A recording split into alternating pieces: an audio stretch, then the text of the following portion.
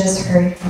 Truly, Lord God, na ganun mo kami kamahal, Panginoon, kaya patuloy mo kami pinapaalalahanan. Panginoon, pagpalain niyo nawa ang mga kamay na naghandog ng kanilang mga tithes and offering. Lord God, we pray that this um, amount of money that we were able to provide, to give, will bless your holy name, O God. Panginoon, nawa ang mga salapi nito, Panginoon, ay magamit sa ikalalawak ng iyong kaharian sa, sa lupang ito. Panginoon, nawa ang mga nagbigay ng, ng mga ito, Panginoon, ay hindi lang ang pagpapalain ng pinansyal, Panginoon, but through spiritual growth as you, as you have said to us. Panginoon, sa iyo, kapurihan ang karangalan sa pangalan ni Jesus. Amen. Lumako naman po tayo sa ating announcement.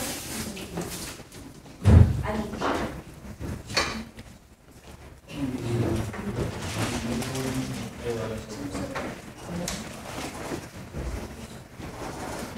Um, next week, next Sunday po ang ating outdoor fellowship with the Koreans. So, um, parehong time pa rin po ang ating uh, fellowship dito sa sa church at 11 a.m. And after that, we have to proceed to our meeting place sa Seoul po, Seoul Uh, meron po tayong sports fellowship with the Koreans. Doon na rin po tayo mag-lunch so you don't have to bring your food sa place na ito.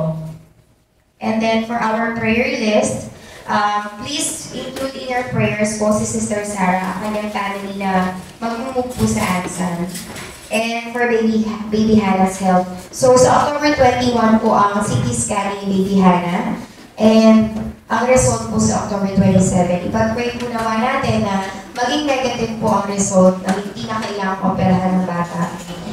Sister Melba's fast recovery from post-operation. Sister Mary Grace dialysis and kidney transplant. Healing for Nanay Norma and Sister Lorraine. And LCC's plan to undergo the E12 discipleship consistently. Regular work for Sister Amy. Stacy pastors, leaders, members, and their families. After nga po pala nito, meron po tayong celebration ng ating birthday celebrants. So, um, sa, although next week pa po sila magsa-celebrate ng kanilang pinaka-birthday, aagahan na po natin. So, si Sister Sky po, ang kanilang pinaka-birthday, October 25. Sister Mary Grace, October 26. Si Baby Hannah, 27. At si Brother John Ray, October 29. John Ray, tama? Oh, tama. Nagkamali ako.